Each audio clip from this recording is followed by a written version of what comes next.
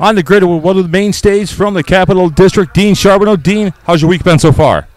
Uh, we've been uh, we were a little slow in time trials, and uh, we managed to scale it and uh, get it faster for the heat race. So I think we got a pretty fast hot rod. With the lack of track time, how's that going to play into effect here this afternoon?